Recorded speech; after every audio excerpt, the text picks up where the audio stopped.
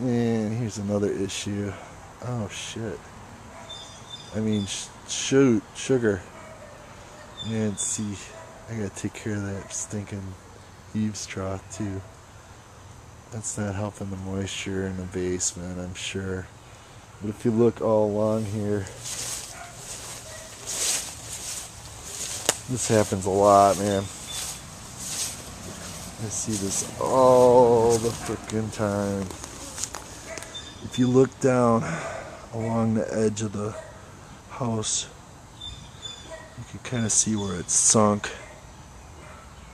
So what you got is your moisture going towards the house, which it should be going away.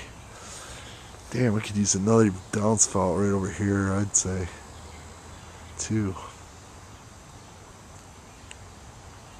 I only got one for that 30 foot run there.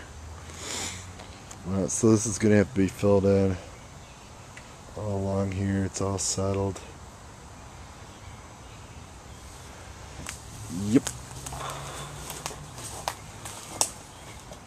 I'm going to step in that thing, whatever that was. And then, getting a lot of moisture in this area too. So I think I'm going to have to build up the grade here.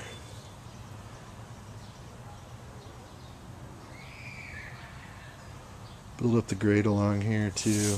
So I'm gonna, these hostas are really nice.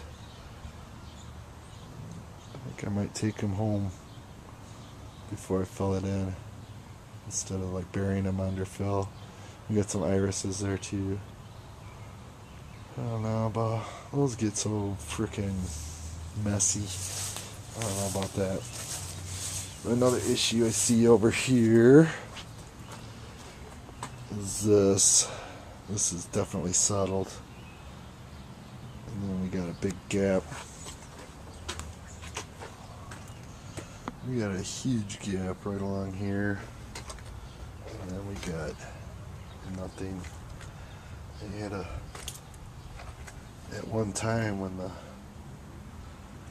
sidewalk was higher, it looks like they tried to fill in a little bit with some caulk.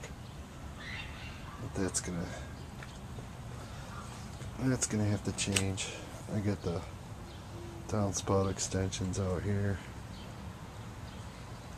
Push the water away. This house, she just loves moisture, man. Holy crap.